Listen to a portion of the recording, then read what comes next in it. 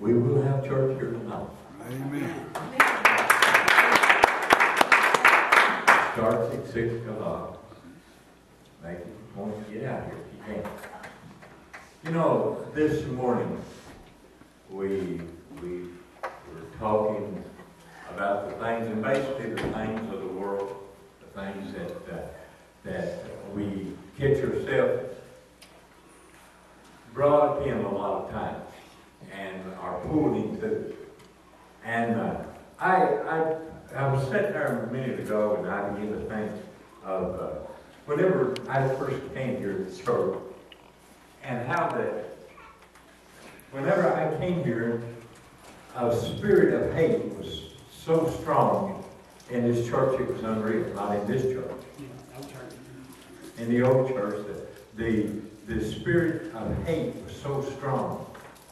I mean, you could feel it whenever you walked in the door. And uh, I, that's a spirit. That's a spirit that, that we have to really watch and really be discerning of in order to catch it before it gets in and takes hold.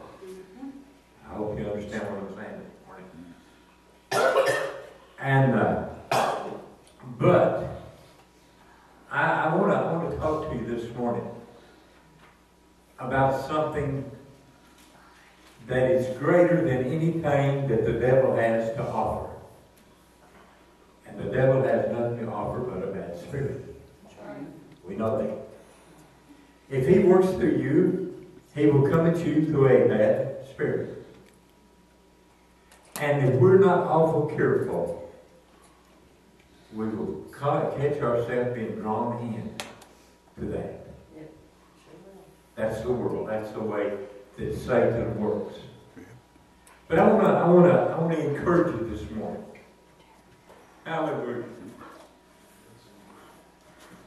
Bless him, Lord. Bless him. Bless him, Lord. I feel what I feel. I want to encourage you this morning. There is a spirit Yes. that is of God Amen. that you can feel. Amen. Amen. And you can feel when that spirit comes into the building. Yes. When that spirit begins to flow from Hannah to Jennifer, from Ed to you. me, Yes, Lord. that Bless spirit Bless of him. God is what we're living to have today. Amen. Amen. That spirit is greater than any spirit that can come at you through the devil, right. through Satan. But we have a spirit of promise. Amen. That, you know, whenever I talk about the spirit of promise, you know, we're not all going to stay here. No. Well, I, I say this over and over and over, and I guess I, I'm sorry, I like a broken record sometimes. People probably get here, get tired of hearing it. But you're not going to stay here forever. Get that in your mind right now. You know, some people think, well, I'm just going to live on forever and ever. It's not going to happen. Nope. One of these days, your time's going to come up. Your number's going to be called, so to speak. Amen. And whenever it does, you're out of here. But we're not out of here yet. Amen. Now, this, I'm, if you've got your Bibles, I want you to turn to the book of Ephesians, in the first chapter. And in the 12th verse, I'm not going to read a whole lot this morning, but I'm going to go from that to Acts, to the book of Acts. It says, in the 12th verse of the first chapter of that, of the first Ephesians, of Ephesians, that we should be to the praise of his glory. That we should be to the praise of his glory. Who first trusted in Christ. Did you what I said? Who first trusted in Christ. In whom ye also trusted, after that ye heard the word of the truth, the gospel of your salvation, in whom also after that you believe, you were sealed with that Holy Spirit of promise. Now I'm going to go to the book of Acts. In the book of Acts, in the second chapter, second chapter, in the seventeenth verse. And it shall come to pass in the last days, said the Lord, I will pour out of my spirit, or pour out from my spirit, upon all flesh, and your sons and your daughters shall prophesy, and your young men shall see visions, and your old men shall dream dreams. And on my servants and on my handmaidens I will pour out in those days of my spirit, and they shall prophesy. And I will show wonders in heaven above, and signs in the earth beneath, blood and fire and vapors of smoke. And the sun shall be turned into darkness, and the moon into and, and the moon into blood, before that great and noble day of the Lord comes. And it shall come to pass that whosoever shall call on the name of the Lord Jesus shall be saved. I told you ago, there is a spirit of Satan that will come and he will try to disturb and try to tear down. He will try to destroy. He said he'd come to steal, to kill, and to destroy, to take everything away from you that he can take away from you. Now, I, I, I can speak for myself this morning, and I think I'm speaking for just about everybody in this building this morning. There's a time in your life that Satan will come at you in such a manner that you cannot hardly control yourself, and you will get to the point. I'm talking about myself this morning, okay? Uh, because I've been there. And I have been to the place that I could not control myself, and I've done things that I shouldn't have done. Why? Because that there was a spirit of the devil that came at me, and I give over to it, and I begin to do the things that Satan told me to do. Have you ever done that? And but you know what? The day that we're living in now, now, the reason why I'm saying that the day that we're living in right now, because the book of in the, in the, in the book of Acts it said, and in the last days, and in the last days, you know, I got ridiculed pretty good the other night, and because I, I thought I, I made the comment that the Lord was coming back, and that uh, that He was fixing to take His children out of here. And I got a letter handed to me, and I'm telling you right now, it just about straightened me out.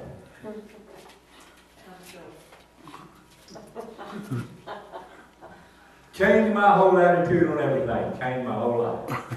It didn't change a thing.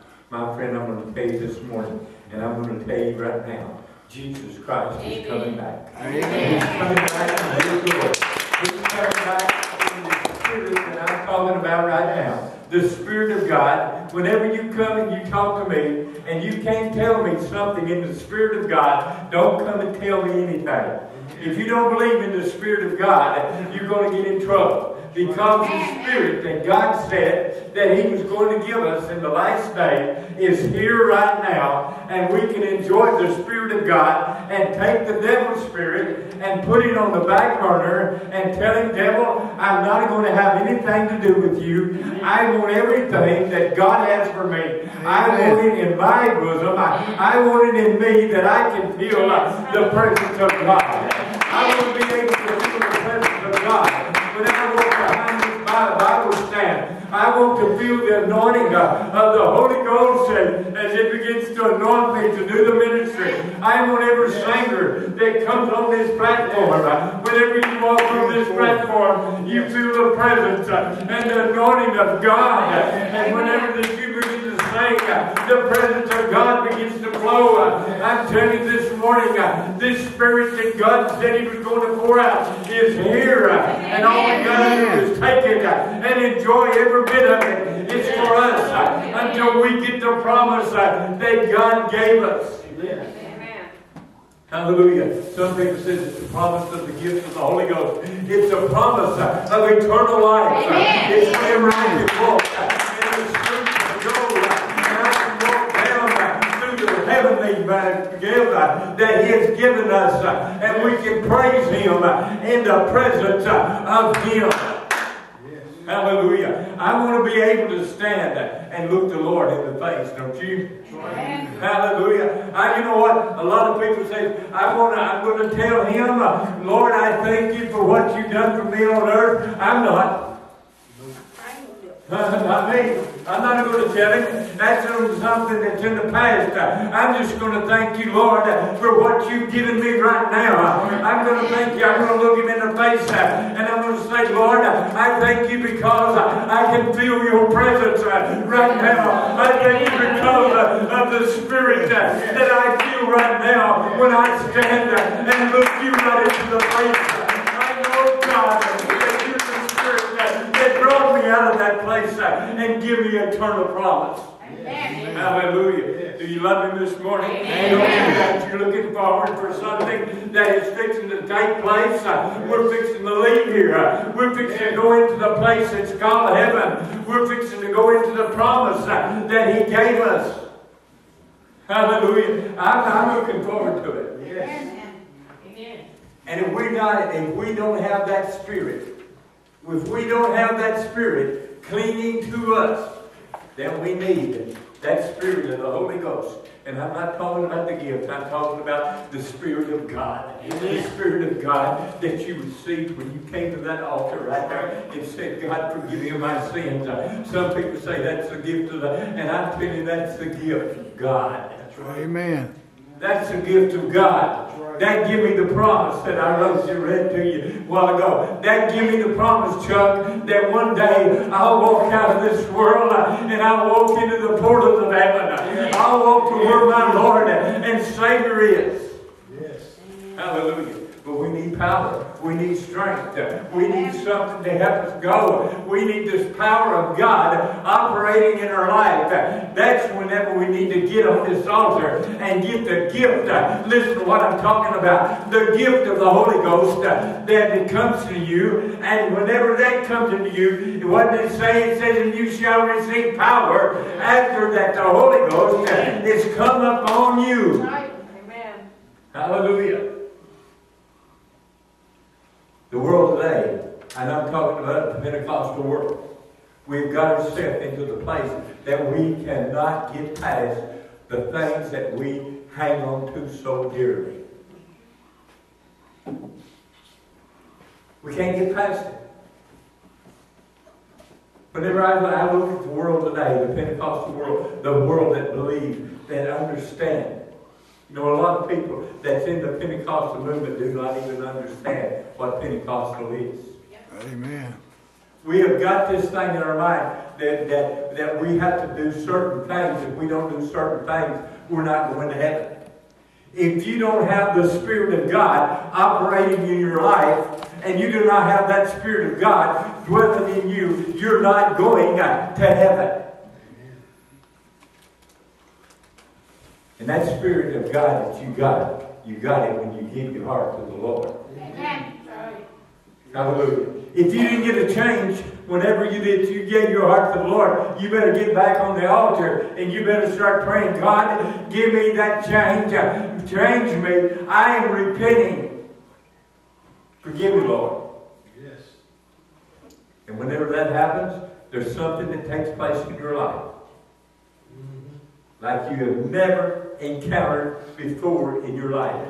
Right. You receive the Holy Ghost. Yes. If you didn't, you don't have nothing. Amen. I had, a, I had a guy tell me one time. He said, I never got nothing until I spoke in tongues.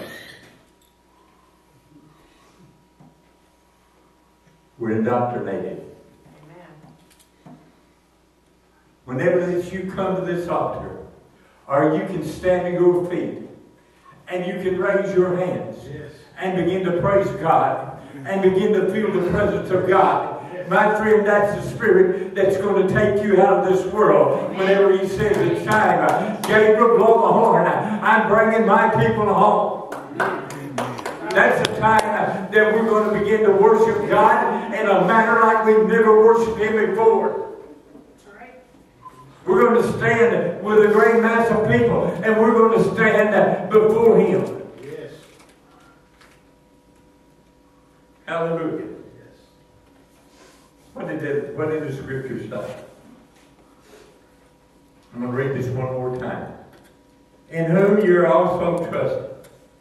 After that ye heard the word of the truth, the gospel of your salvation. The gospel of your salvation. What is the gospel of your salvation? Jesus Christ, Him It's. Jesus Christ And Him crucified. and Him crucified. What did Paul say? I mean, here's what you're going to hear from me. Here's what Paul said. I'm going to preach you Jesus Christ and Him crucified. And he said, if anybody else comes and preaches you any other thing than this, he said, you let him be a curse. You don't listen to him.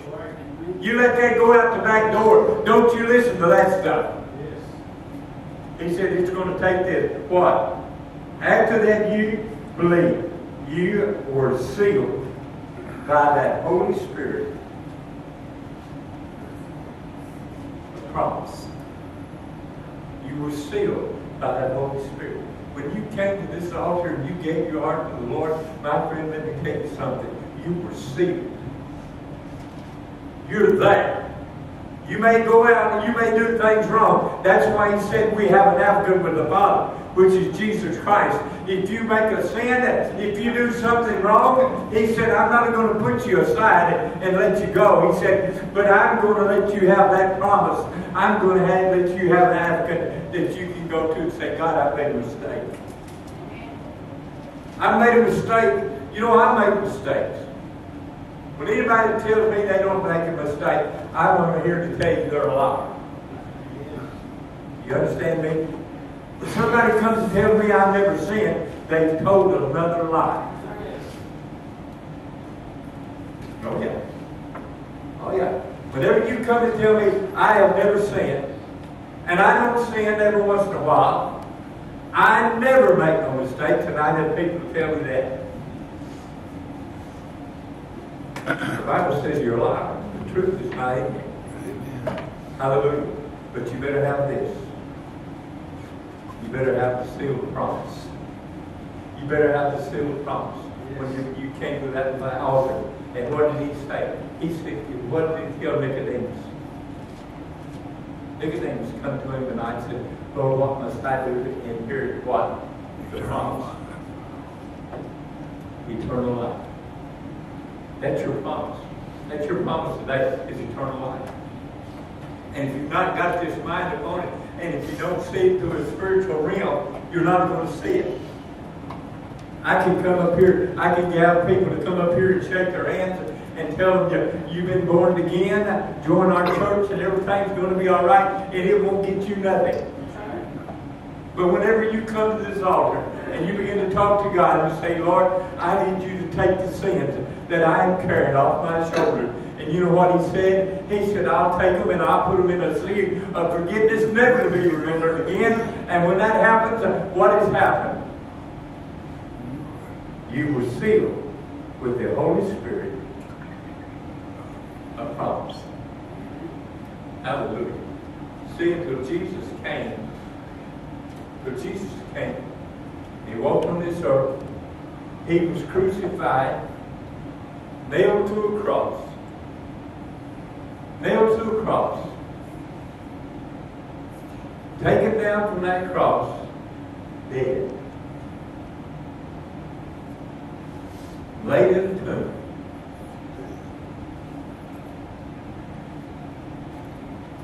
But on the third day, Hallelujah. Do you feel what I feel? Spirit that I feel right now. Hallelujah. Hallelujah. The spirit that I feel right now He rolled the stone. The spirit that I feel right now broke the morning iron. And he came walking out of the tomb.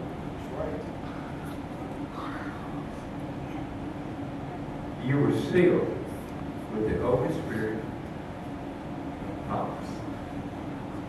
Chuck, that's going ahead. Jamie, I'm going.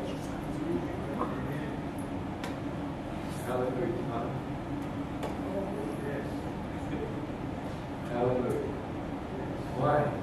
Because of the Spirit that we feel, that Spirit that makes you stand on your feet and begin to worship God.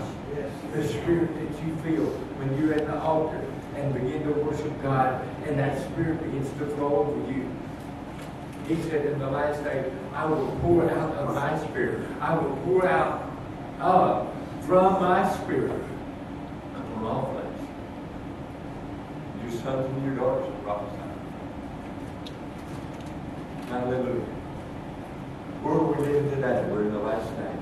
Amen. Whenever we feel the Spirit of God, what do we need to do? We need to worship Him. Hallelujah. We need to worship Him. We need to give Him praise. Why? Because, Jamie, we're not going to stay here forever. We're leaving here, and when we leave here, we got the promise. We got the promise. Hallelujah. We're going to heaven. Hallelujah. We're going to heaven. We're going to heaven. We're not going to stay here. We're out of here. Hallelujah. Hallelujah. Give him our praise right now. Hey, you know what? Whenever we talk back to heaven, it ought to bring to you. You know, to say, Lord, I thank you because you made a way that I can feel your presence. I, can feel your presence. That makes me, I am sealed by that Spirit, by the promise that you have made for me. Hallelujah. Do you love me this morning? Hallelujah. Thank you, Lord. Hallelujah. Don't nobody sit down. Hallelujah. Hallelujah. Hallelujah. Come on, people, let's sing it. Hallelujah. Hallelujah. I'm kind of homesick for that country to which I've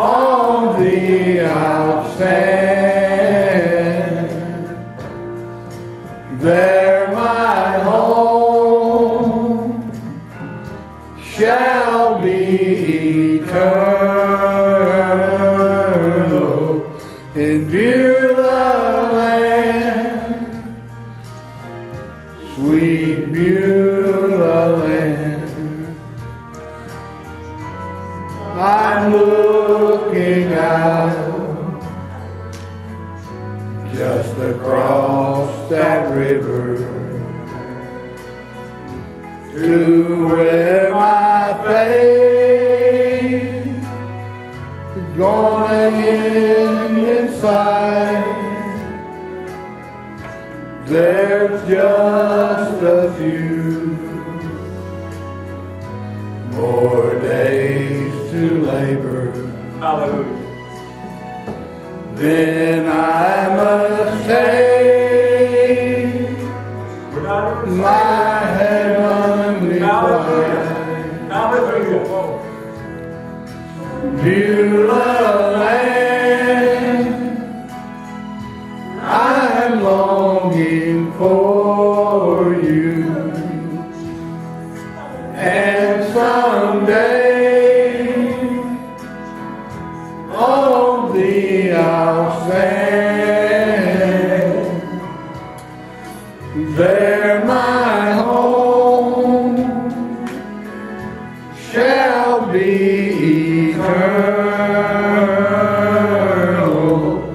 in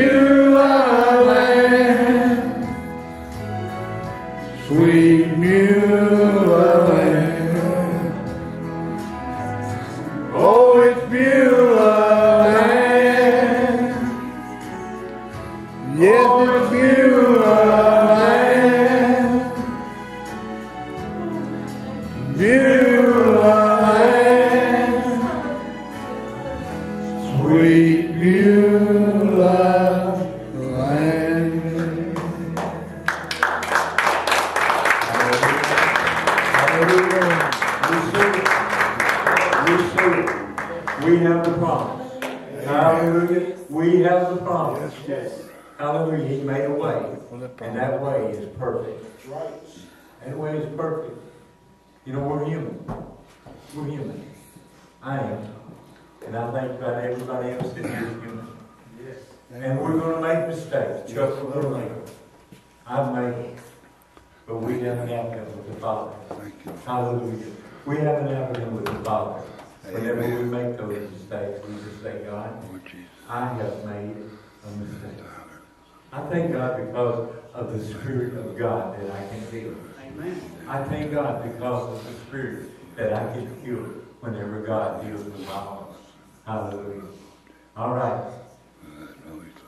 Tyler, stay there. You what you need from the Lord. Hallelujah. Remember, be back tonight. Be back tonight. Come back.